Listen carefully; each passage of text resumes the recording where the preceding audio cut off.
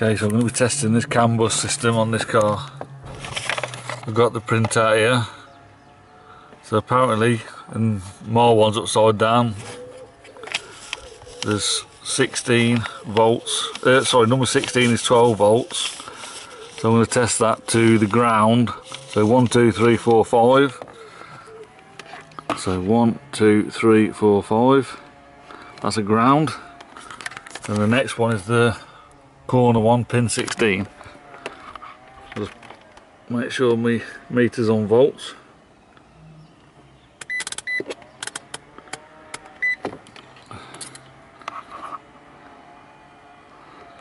So there you go, 12 volts.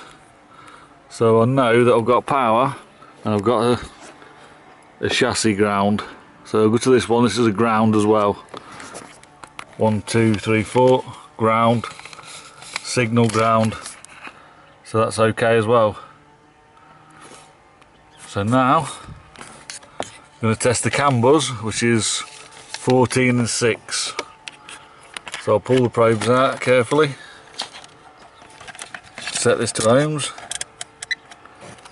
It should be 60 ohms if it's alright so it's it's pins. 1 2 3 1 2 3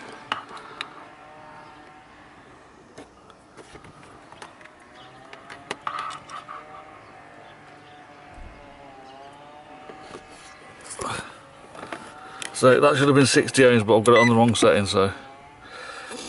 So nothing there. Why is that?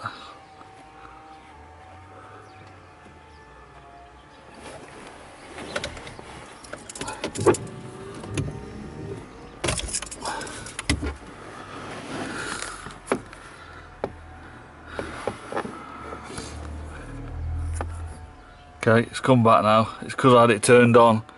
So now it's gone to sleep and it's showing the ohms reading. So obviously you have to do that without power. That was my fault. So that's it.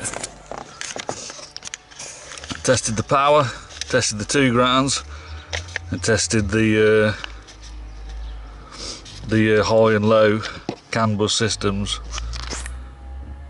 A faulty reading would be a short, which I nearly got, which I got, but it's obviously because I was on and if it's double that or treble that that's all signs of a faulty CAN bus system